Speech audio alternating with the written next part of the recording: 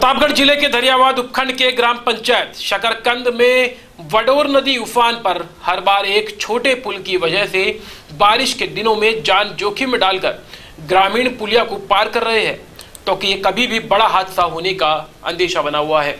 पुलिया के ऊपर बहते पानी में पुलिया पार जाने के लिए न तो ग्रामीणों को रोका जा रहा है और न ही प्रशासन इस पर कोई ध्यान दे रहा है।